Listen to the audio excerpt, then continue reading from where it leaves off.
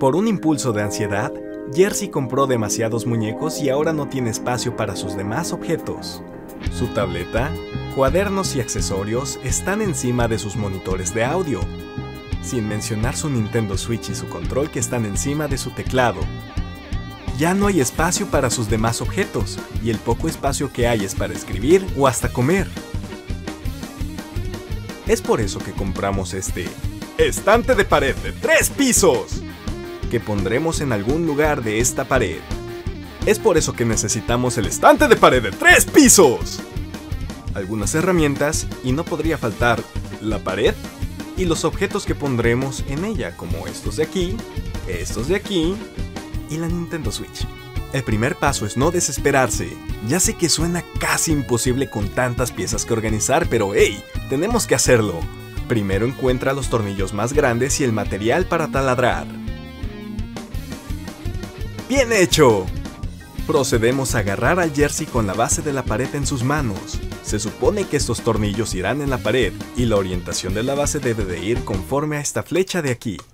Después de asegurar que en la pared solamente hay madera dentro y no hay ningún tipo de cableado, debemos marcar los puntos de nuestro objetivo.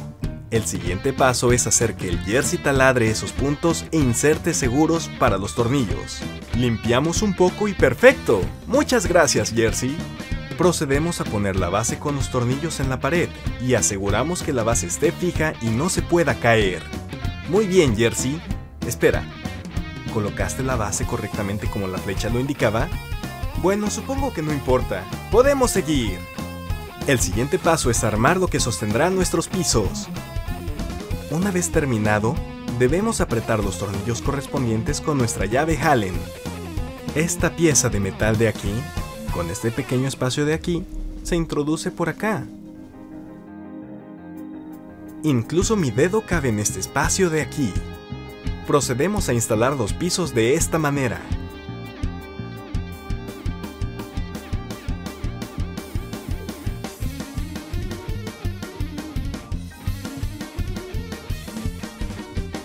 Ahora solamente ajustamos. Muy bien. Debemos de ajustar los tornillos con nuestra llave Allen. Esto para que no se caiga. Tendremos que tener extrema precaución porque la llave Allen se puede caer. No te desesperes, es parte del proceso. Después de instalar los tres pisos, pondremos protectores de cristales hechos de gomita. Ya casi terminamos. Solo nos queda colocar los pisos y asegurarlos con tuercas y tornillos.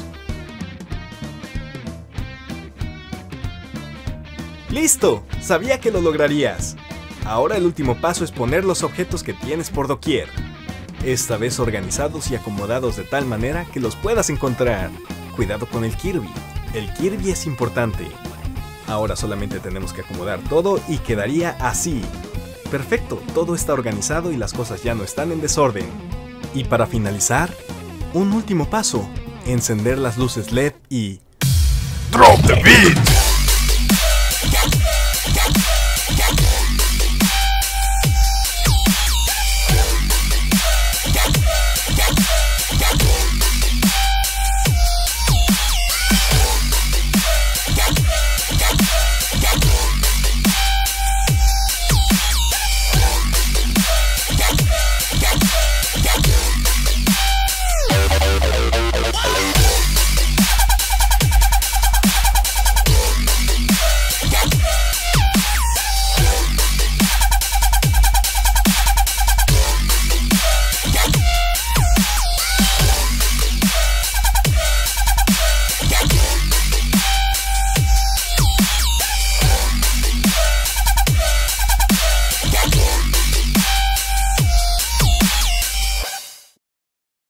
Ay, no, no puede ser esta porquería. La instalé muy abajo y ahora ya no puedo pasarle las páginas a estas cosas. Ay, no puede ser.